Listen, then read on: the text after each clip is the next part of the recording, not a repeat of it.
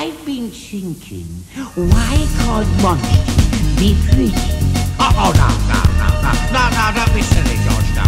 Whoever saw a pretty monster?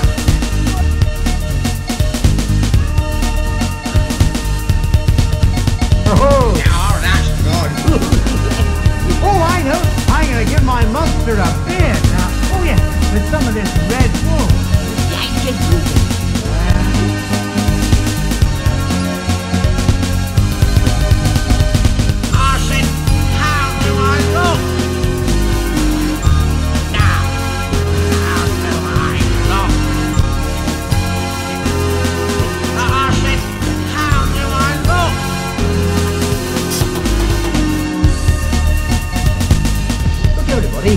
here's kind of monster you can make. A smelly sock? No, Zippy, not a